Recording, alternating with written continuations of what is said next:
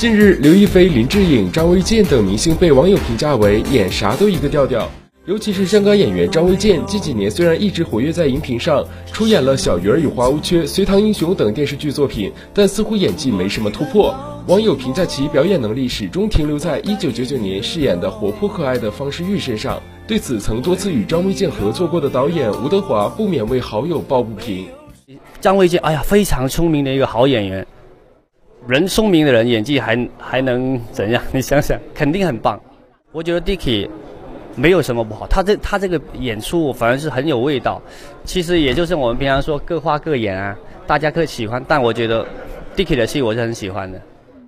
面对网友对张卫健的批评声，导演吴德华依旧力挺好友。他表示，目前已经正在筹划新的剧本，还会继续和张卫健合作。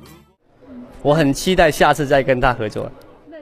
现在越来越多的选秀选美比赛让观众眼花缭乱，不时传出的内幕说让很多观众和选手对比赛没有信心。作为《我的中国梦》暨2013首届中华文化小姐全球大赛广东赛区执委会主席吴德华一开始就表明决心：我非常欢迎媒体和各界的朋友来监督指正，让我们知道。而且我们有一个是铁律哈，一个铁的纪律，就是说任何一个分赛区和选手如果有。不符合我们标准的行为，一票否决。如果这个赛区有选手有问题，我连这个赛区都取消他。东兴娱乐整理报道。